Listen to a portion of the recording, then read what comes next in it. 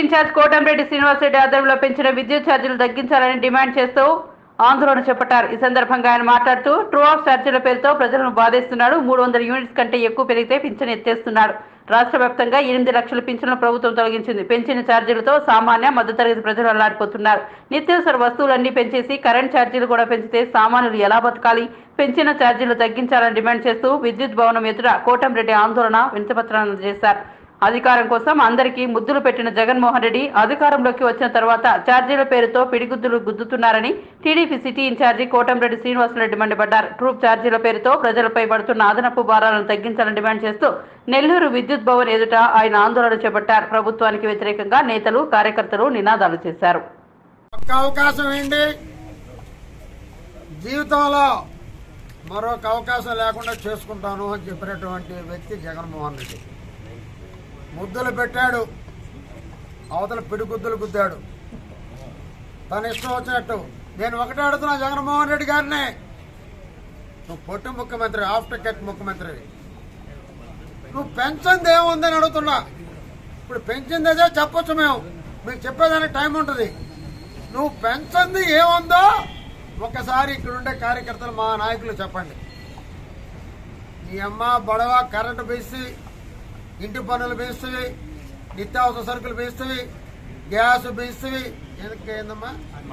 Cinema టికెట్లు బేస్తవి ఆ petrol బేస్తవి ఆ, ఇంటి పన్ను చెత్త పన్ను ఆ, ఇంకా మందు.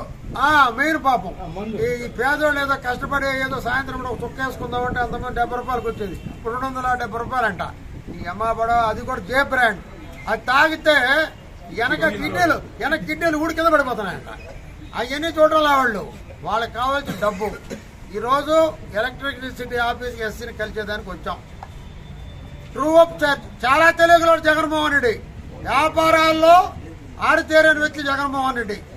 పదిహేను వేలు ప్రజలకు ఇచ్చి నెలకి ఎనభై వేలు నొక్కుతున్నాడు. అర సంవత్సరానికి అరవై వేలు ఎనభై వేలు.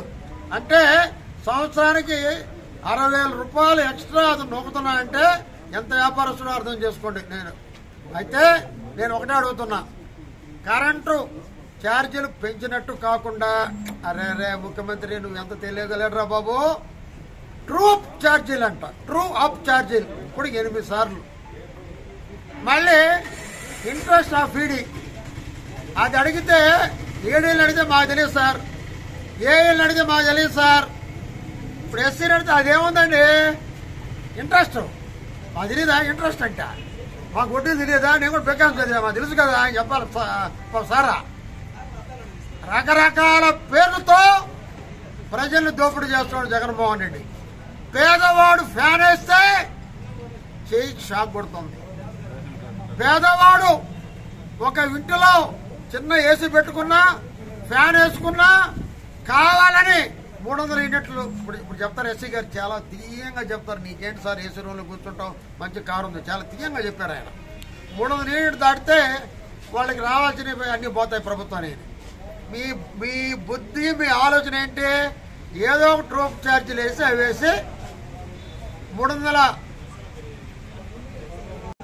మూడు వందలండి మూడు వందల మూడు వందల యూనిట్లు దాటే డబ్బులు వేసి వీళ్ళందరినీ కూడా రేషన్ కార్డు తొలగించి పెన్షన్ తీసేయాలని మీ కోరిక. ఈ రోజు రాష్ట్రంలో ఆరు లక్షల మంది పెన్షన్ తీసేసింది వాస్తవం కాదని అడుగుతున్నారు అదే రకంగా నేను ఇంకా ప్రజలు ఏం చేయాలా? లా పాత రోజుల్లో నేను రెండో క్లాస్ చదివేటప్పుడు మా ఊర్లో కరెంట్ లేదు. లాంధ్ర బుడ్డి ఇసురుకోదానికి టెంకాయ ఆ, తాడి చెట్లకి కట్టే ఇసురగర్రలు ఈ ఈ రాక తప్పదు. దాదాపు డెబ్బై ఏళ్ళు వెనక్కి జగన్మోహన్ రెడ్డి గారి పరిపాలనలో. ఈ రోజు పెంచిన కరెంటు ప్రతి ఇంట్లో గందరగోళంగా ఉంది. ఏంది కరెంటు రావటం? ఏంది బిల్లులు రావటం? అని ప్రజలు ఆందోళన చెందుతున్నారు. దాంట్లో ఇంక రాజీ పడే సమస్య లేదు.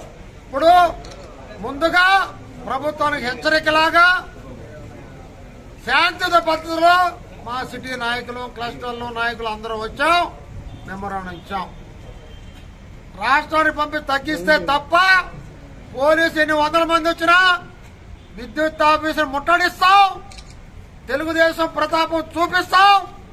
ఈ రాష్ట్రానికి తెలుగుదేశం పార్టీ రుచేందో కూడా చూపించి జగన్మోహన్ రెడ్డి దిగే వరకు ఈ రాష్ట్రాన్ని మంచి పరిపాలన దక్షుడైన చంద్రబాబు నాయుడు గారిని ముఖ్యమంత్రి చేసే వరకు పోరాటం తీవ్రతం చేస్తామని కూడా హెచ్చరిస్తున్నాం. ఓకే చాలు. మరింత తాజా సమాచారం కోసం చూస్తూనే ఉండండి చేఎన్ఐ టుడే. సబ్స్క్రైబ్ చేయండి లైక్ చేయండి.